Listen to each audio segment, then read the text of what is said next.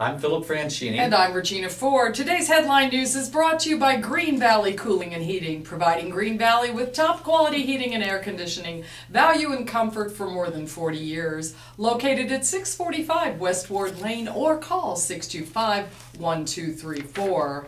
Five adults and a juvenile from Sahuarita have been fined $43,000 and sentenced to five years of probation for defacing an archaeological site west of Sahuarita known as Indian Kitchen.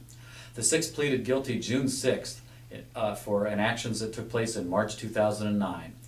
The Bureau of Land Management removed much of the spray painting on a massive rock formation there that has mortar holes that were used by prehistoric Hohokam culture to grind grain, but some of the paint remains visible and the site can never be fully repaired.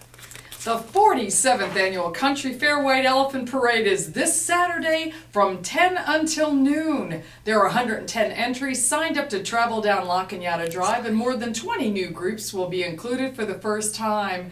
This year's theme is You Give, We Serve. I'll be emceeing the parade with Joey Lessa from the grandstand north of the Green Valley Inn. The parade draws a large crowd, so bring a chair and a blanket and get comfortable. Read these and other stories right here on our website or in your copy of the Green Valley News.